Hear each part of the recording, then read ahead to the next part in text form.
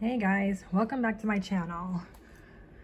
So, uh, um, five months ago, I uploaded a video stating how I feel about PB&J Otter being on Disney Plus and how the that PAL pitch thing still annoys me.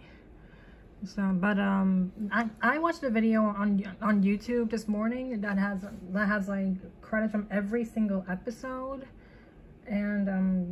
it, it's in the description in case you want to see it. And the, the guy who uploaded said that there's only one episode of PB&J Otter that that does not have the PAL pitch. So I'm gonna I'm gonna see if that's true or not. So here's the page. Um, there's my little ID up there.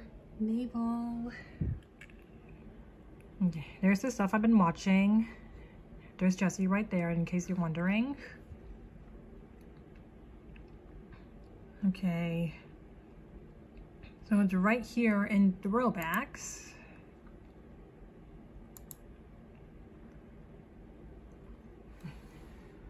It's already been a while since I since I watched it from here, but let's see what goes on.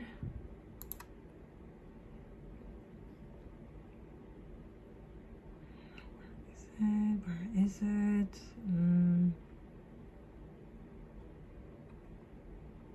So it should be this episode. I'll be your best friend and Otterly Alone. A little bit hesitant to know if this actually has, well, does not have the PAL pitch, but let's see what happens. Fingers crossed.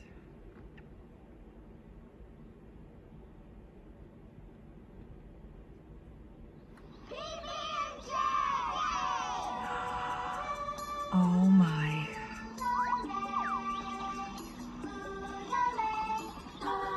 It actually has it.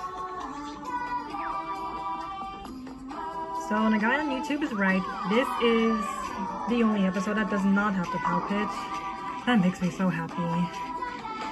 Um, so um, I I still wish the rest of the series didn't have this, but you know, one episode's better than nothing. So um, I, I hope you guys enjoyed this this nice little discovery. Um, I have I have the link for his video in in the description, and um, I'll see you later.